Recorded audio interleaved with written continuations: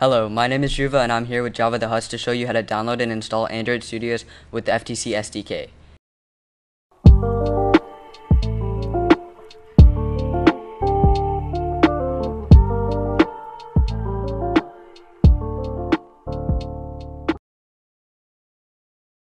Android Studios is an IDE or an integrated development environment used for Android development.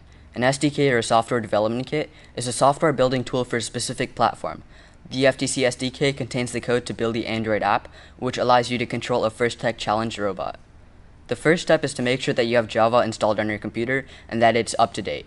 Click the link in the description below or go to Java Oracle and click Download Java. Choose your operating system and file type and click the link.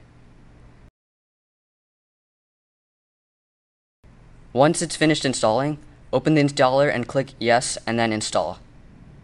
Now that we have Java installed, the next step to installing Android Studios is to open your browser and type in Android Studios, or click the link in the description below and click Download.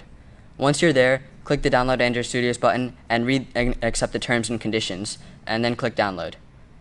Next, click Install and it would take a couple minutes to install. And once you're done, click Finish, choose the location of the download.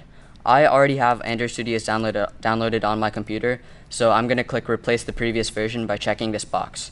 If you have other predefined settings, you can go ahead and import them, but I'm just going to continue without them for the purpose of this video. Once you have the program installed, go to your browser and type in FTC Freight Frenzy SDK or go to the link posted in the description below. At the time of making this video, the SDK for PowerPlay for the PowerPlay season has not been released yet. However, the process is the same for all versions click Code, and then click Download Zip. Once you've downloaded the zip folder, go to your File Explorer and unzip the folder by clicking on the folder, right-clicking, and clicking Extract All. Make sure to note down the location of this file, and then go to Android Studios and click Open.